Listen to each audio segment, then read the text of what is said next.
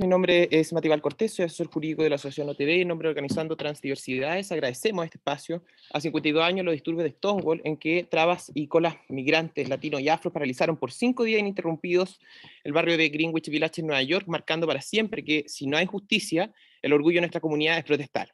Para aprovechar el tiempo, quiero comentar algunos puntos relevantes que como organización transfeminista disidente les queremos proponer impulsar a esta red disidente. Primero, valoramos y adherimos la propuesta del reglamento feminista de la articulación territorial Elena Cafarena, en cuya redacción participaron algunas organizaciones de acá, como Humanas, Rompiendo Silencio. Sobre ella queremos destacar dos puntos. Primero, que se contemple cabildos temáticos porque es necesario un espacio seguro para garantizar la participación de las disidencias sexogenéricas, un espacio que respete el nombre social de personas trans y no binarias, y lo que esperamos es que esta red proponga, eh, lo proponga esto durante la discusión que parte la próxima semana con la instalación de la convención.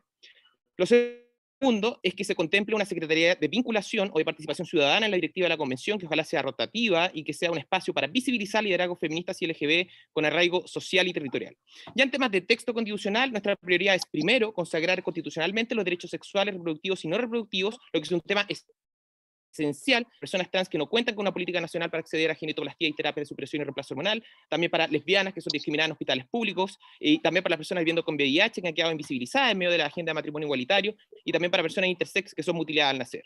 Lo segundo es problematizar el concepto de familia, ampliándolo no solamente a la diversidad de los tipos de familias, sino que también incorporando una noción de red de cuidado que es mucho más amplia. En ese sentido, valoramos también lo que señala una familia X respecto a incorporar estos temas en la Constitución. Eh, lo tercero es resguardar constitucionalmente una educación no sexista y una educación sexual integral con perspectiva de derechos humanos para las personas LGBTQA+. También hay organizaciones como Todo Mejor y Movadi y la red de Abortando Mitos que han trabajado por eso.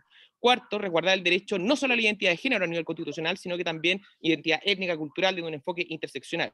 Y quinto, también la misma línea, que el derecho a la igualdad, no discriminación y no subordinación menciona explícitamente la identidad de expresión de género y características sexuales, con los cuales Chile se, Chile se convertiría en el primer país en garantizarlo constitucionalmente. Actualmente solo siete países del mundo eh, reconocen la orientación sexual a nivel constitucional. Y solo para terminar, establecer como límite a la libertad de expresión que se encuentra el negacionismo de derechos humanos y actos de afectación a la dignidad em, con expresiones transodiantes. Justicia para Isidora, justicia para Nicole y aparición con vida de Tehuel. Diversidad no es lo mismo que disidencia. Saludos a todos.